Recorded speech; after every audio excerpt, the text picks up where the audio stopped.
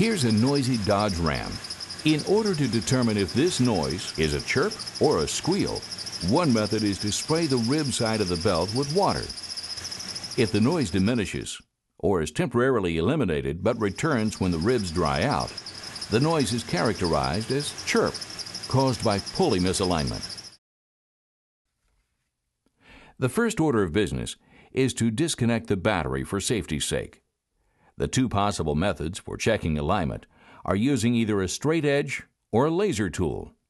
For either method, the crankshaft pulley should be used as the base or reference point. When using a straight edge, various pulley flange designs can make flange alignment impossible, inaccurate, or both. A better approach is to measure from the straight edge to a designated pulley rib in this example, the tip of the second rib in. To use this method, first align the straight edge against two points around the crankshaft pulley. Then, using a measuring tool, such as a caliper, measure the distance from the straight edge to the top of the second pulley rib. Lock the caliper on this distance. Next, maintaining the two points of contact on the crankshaft pulley, proceed to another pulley in this case the power steering pulley, and check the distance between the straight edge and the second rib on the pulley. Any variation from the locked distance to the top of the second rib indicates misalignment. In this case, the alignment is off by approximately half a rib. To use the laser tool, install it on the pulley being checked according to the manufacturer's instructions. The power steering pulley is frequently the cause of misalignment because it's simply pressed on the shaft at the factory and not installed to a stop point, so the pulley is often pressed on too little or too much.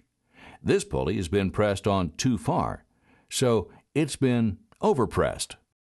This pulley hasn't been pressed on far enough, so it is underpressed.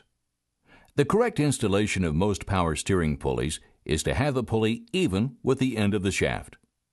If the power steering pulley has been overpressed, a power steering pulley pulling tool is needed, available from most automotive tool catalogs and parts stores.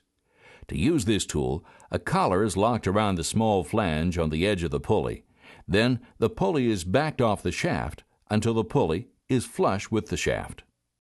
To correct an underpressed condition, use a power steering pulley installation tool also readily available.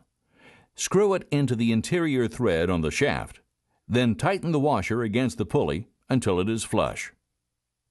Note that the two tools perform different tasks and are not interchangeable. Another seldom diagnosed cause of misalignment is the water pump pulley. If the water pump isn't leaking, it's okay, right? Wrong. This belt is creeping out of alignment upon acceleration the water pump has a bad bearing and should be replaced.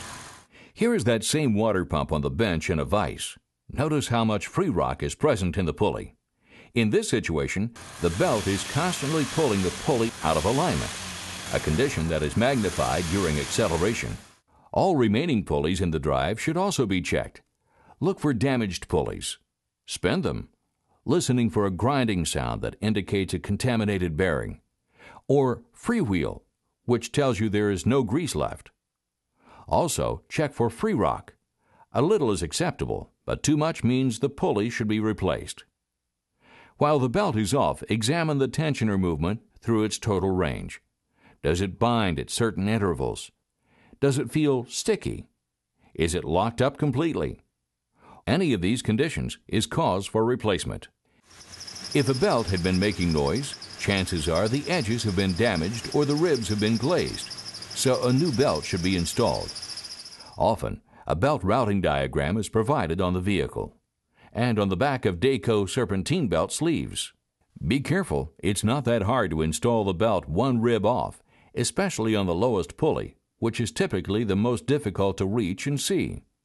If this condition is not remedied, the overhanging rib could be cut completely off or the entire belt could flip off.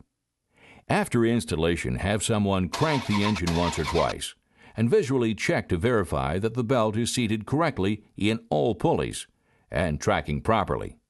If everything looks good, start the engine. A properly aligned and functioning accessory drive with a new Dayco belt will provide years of quiet, trouble free service.